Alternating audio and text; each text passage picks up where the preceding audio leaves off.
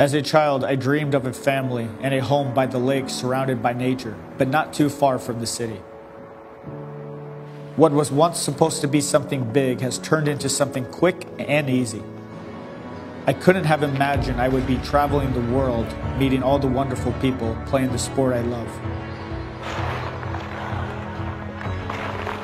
While abroad, I've realized that most dreams don't cost a thing. For some dreams, you can even get paid for. To fulfill the dreams that do cost money, OP Järvi-Häme and OP Koti Järvi-Häme will help. I believe this year we can achieve something great together.